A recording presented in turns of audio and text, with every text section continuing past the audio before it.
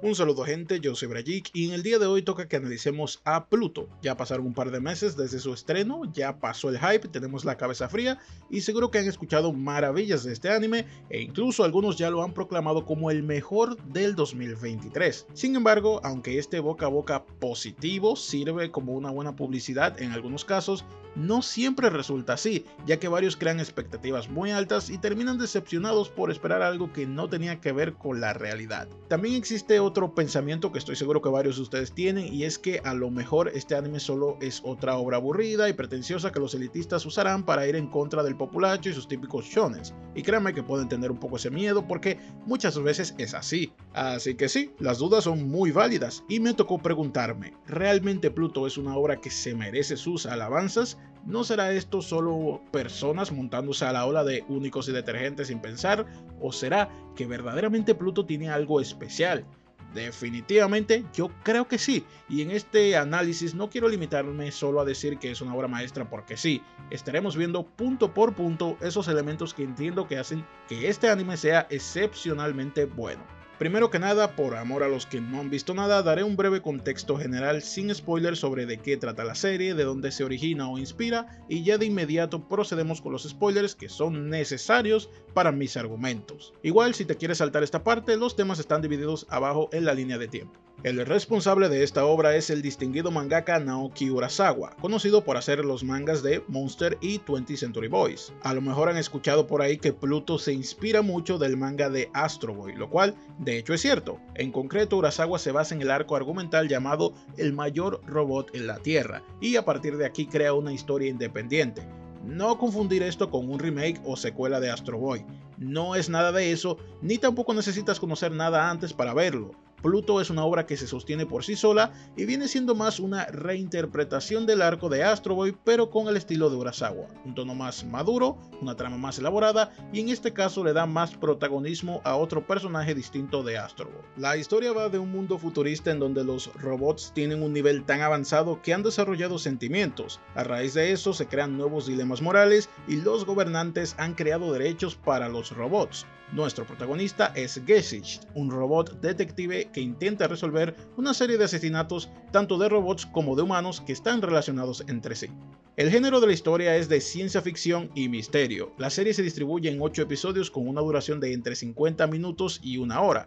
Claro que esta distribución es poco común en los animes y es más un estilo propio de series occidentales, pero si queremos traducirlo al mundo convencional otaku, digámosle así, tomando en cuenta que cada capítulo equivale alrededor de 3 episodios de anime, de un anime convencional, podemos decir que la serie tiene un total de 24 capítulos, así que al final sigue siendo una obra relativamente corta. Si se preguntan si veremos peleas o acción en general, la respuesta es sí, pero no de manera tan recurrente. La serie se enfoca mucho en el drama y la investigación, así que las peleas pasan a un segundo plano. ¿Recomiendo que vean Pluto? Pues claro que sí.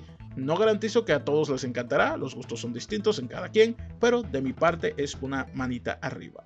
Ahora entrando de lleno con el análisis y dejando claro que tendremos spoilers a partir de aquí, empecemos destacando lo especial de la trama. La misma tiene un aire totalmente alejado del estilo convencional de los shonen del momento, como Jujutsu Kaisen, Kimetsu o hasta el propio One Piece, y no es que estos me disgusten ni nada, de hecho, soy muy fanático del Neketsu, pero no puedo negar que el mercado a veces satura al espectador e historias más densas como estas se sienten como un plato fresco en este inmenso buffet de animes. Para comenzar a poner ejemplos, una de las cosas que me parecen muy bien elaboradas es la narrativa. La misma es muy buena porque distribuye muy bien todos los elementos y nunca se siente que hay relleno o diálogos innecesarios. Siempre hay una nueva información y hay plot twists o giros de tramas que anclan al espectador. Por una parte tenemos al mismísimo Pluto, el plot principal del anime. Tanto el personaje como el concepto del mismo juegan un papel importante a la hora de engancharnos a la obra. Hablando desde el punto de vista de alguien que no conocía la historia como yo, no sabemos a qué se quieren referir con este nombre, aunque tengamos una idea. La trama comienza mostrando que uno de los robots más fuertes y avanzados fue asesinado y ya tenemos nuestra primera pregunta. ¿Qué o quién hizo esto? Y es que ni siquiera sabemos si el perpetrador es un robot o un humano. Se juega un poquito con ese, con ese temilla. No mucho, pero se juega un poquito al principio. Luego vemos que un remolino espectral va y acaba con el adversario sin mostrarnos detalles de cómo se ve y cómo lo hizo, lo cual hace que el antagonista sea aterrador, no solo por el hecho en sí de derrotar sin problemas al objetivo, sino porque lo desconocido genera más miedo. Más adelante, otra cosa que hace muy imponente a Pluto, aparte de elementos obvios como que tiene una voz monstruosa y dos cuernos gigantes, como mi vecino, es que el tipo, aunque le den pelea, mata a todos y a cada uno de sus adversarios al punto de que cada vez que se iba a enfrentar a alguien nuevo, ya ayudaba por hecho que él lo iba a vencer. Y bueno, así fue literalmente con todos hasta llegar a Epsilon, quien fue el único que lo derrotó y salió ileso, o bueno, al menos en el primer combate. Todo esto hace de Pluto un antagonista sólido, que sientes que es una amenaza real, alguien que de verdad puede matar a nuestros protas. El sujeto no se anda con monólogos, no mata a personajes extra para demostrar su poder, como pasa con muchos animes, sino que va directo al grano, atacando a los peces gordos al punto de que venció a todos sus rivales incluyendo a Epsilon, quien parecía que no perdería contra él, pero al final sí. Claro que con todo lo mencionado, el personaje de Pluto ya funciona perfectamente bien, pero aparte de eso, el autor no se limita a darnos a una máquina de matar sin alma, aunque el mismo sí es un antagonista en gran parte de la historia, como tal, no es un villano, ya que descubrimos que sus acciones están muy condicionadas a los llamados sentimientos desequilibrados auspiciados por su padre, el Dr. Abula. De manera resumida, Pluto es un engranaje que va moviendo la trama de nuestra historia, no solamente como concepto, sino como antagonista. Así que, sin duda alguna, este es uno de los mejores elementos de la obra y justifica muy bien el título de la misma. Ahora me gustaría que hablemos de otro elemento excelente de la serie, Gesich, el protagonista. Si bien es cierto que la obra se inspira mucho en la historia de Astro Boy y de hecho lo representan con el personaje de Atom, Urasawa decidió enfocar la mayoría del protagonismo a Gesich. Asumo que fue porque él encajaba más en el tono de investigación y crimen que quería darle a esta historia. Este personaje tiene ese molde clásico de prota de películas de detectives gringas, un tipo serio, centrado, calculador y con un fuerte sentido del deber, solo que en esta ocasión hay un factor que cambia el panorama y vuelve a Gesich alguien mucho más interesante. Él es un robot y eso genera ciertas dudas en el espectador. Si bien es cierto que los robots desarrollaron sentimientos, los mismos no responden a estos exactamente igual que un humano. Por ello, está la constante interrogante de hasta qué punto la moral de Gesich limita su accionar. ¿Acaso su brújula moral puede cambiar?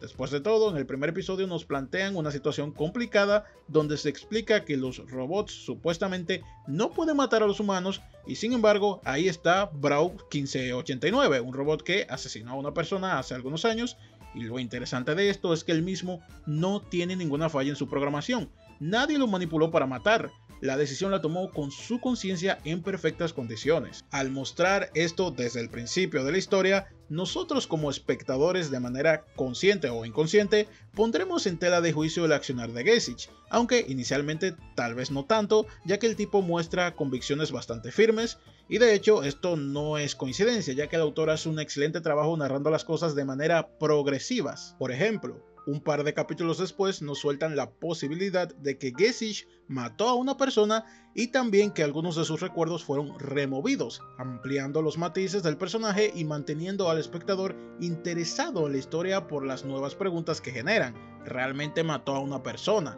Ser así, ¿por qué lo hizo? ¿Para qué le borraron la memoria? Y bueno, varias cosas más que sirven como hilo conductor en nuestro viaje por esta obra, haciendo que cada capítulo sea digerible porque nunca sientes que la trama se estanca o que alargan las cosas, todo se mantiene fluyendo. Tampoco puedo dejar de mencionar lo bien que la serie me hizo conectar sentimentalmente con Gesich y lo duro que me golpeó su muerte. Los desgraciados supieron muy bien cómo herirme ya que su deceso no se forzó a que pasara una pelea heroica o haciendo algún sacrificio.